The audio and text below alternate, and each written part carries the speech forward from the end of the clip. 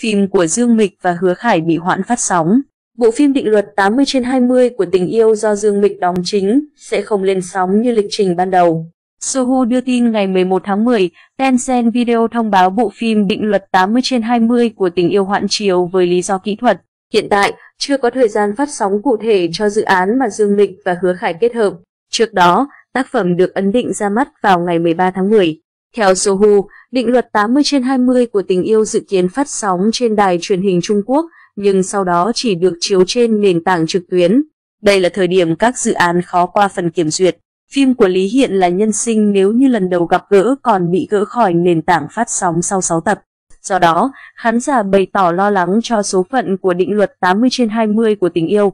Định luật 80 trên 20 của tình yêu xoay quanh nữ luật sư Tần Thi, Dương Mịch thủ vai, một lòng theo đuổi sự nghiệp, không kết hôn, khiến cha mẹ thúc giục. Lúc này, công ty luật có tiếng mà Tần Thi nhắm đến là yêu cầu người tuyển dụng đã lập gia đình. Do đó, anh trai của Tần Thi tự ý sửa đổi thông tin của cô Thành đã kết hôn. Đối tượng được ghép đôi với cô là Dương Hoa, Hứa Khải. Cả hai rơi vào tình huống khó xử. Cùng lúc đó, bạn trai cũ của Tần Thi trở lại, tạo nên mối tình tay ba. Trailer phim có nhiều cảnh tình cảm của hai nhân vật chính. Dương Mịch và nam diễn viên kém 9 tuổi được nhận xét đẹp đôi.